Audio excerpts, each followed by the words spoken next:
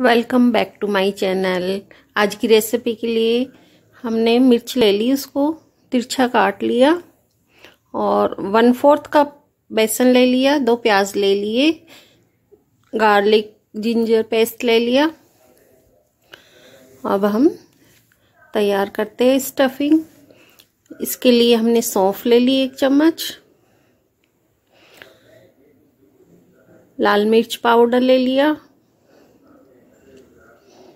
धनिया पाउडर, नमक to taste ginger garlic paste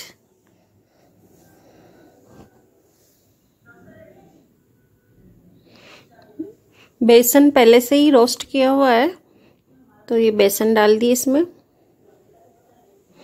ये जो मीडियम साइज़ के दो प्याज ही नहीं चॉप किया हुआ था, ये डाल दिए। अभी इन्हें अच्छे से मिक्स कर लेंगे।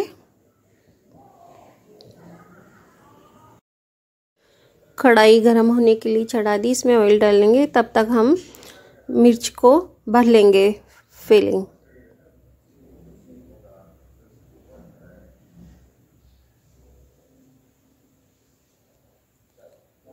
ये देखिए, अब तेल गर्म हो चुका है, इसमें मिर्ची को डाल देंगे फ्राई होने के लिए। सभी मिर्च को डाल देंगे।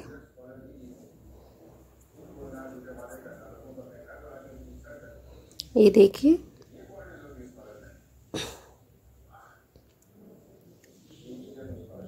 अब इन्हें हल्के हाथ से हिलाएँगे बीच में और लीड लगा देंगे कढ़ाई की।